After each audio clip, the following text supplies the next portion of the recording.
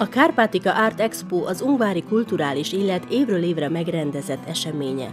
A kiállító művészek többsége a Munkácsi Mihály Képzőművészeti Egyesület tagjai. Az alkotói csoport nyitottságára val, hogy a kiállítás alkalmából olyan festőket, szobrászokat is maguk közé hívtak, akikkel plenertáborokban találkoztak. Az idei kiállítás 20 alkotó munkáját vonultatta fel. A különböző technikával készült és változatos tematikát bemutató művek között szerepelnek grafikák, fényképek, kerámiák, festmények, azon belül pedig természet és tájképek, portrék, népi életképeket ábrázoló alkotások.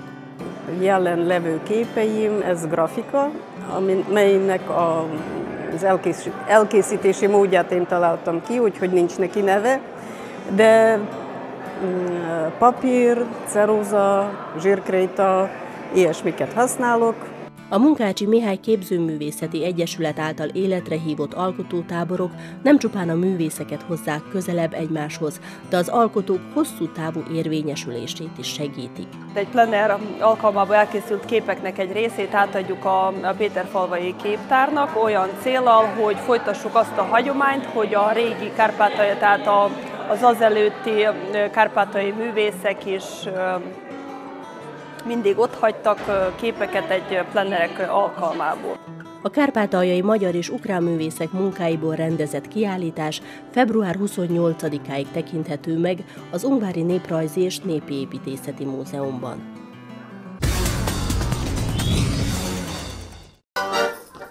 A Beregszászi főiskola átriuma után az Ungvári Várnegyed egyik legpatinásabb helyén, a Váralja kaféban rendezték meg a legújabb folk kocsmát. A Kárpátaljai Magyar Kulturális Szövetség által támogatott buli főleg az egyetemista diákoknak, valamint a városi szórványmagyarságnak szól. Az est sztár vendége Pál Lajos harmonikás, Pál István Szalonna, az Állami Népi Együttes főprimásának nem kevésbé ismert édesapja volt. A népzene előkerül, a népdal, a néptánc.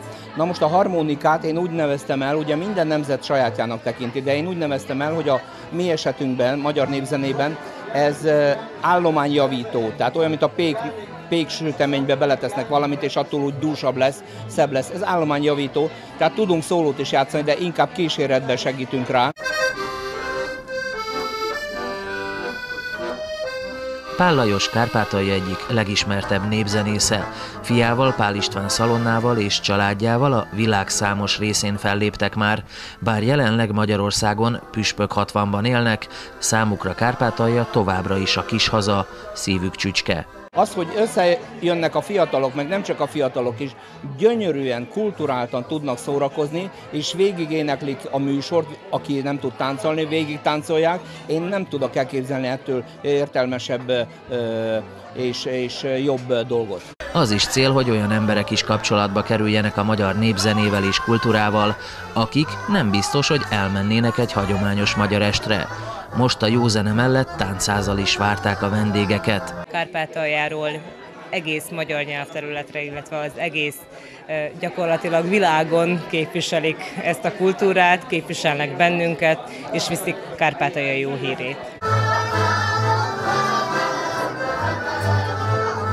A magyar néptánc világába a főszervező Váradi Jánikő avatta be a jelenlévőket.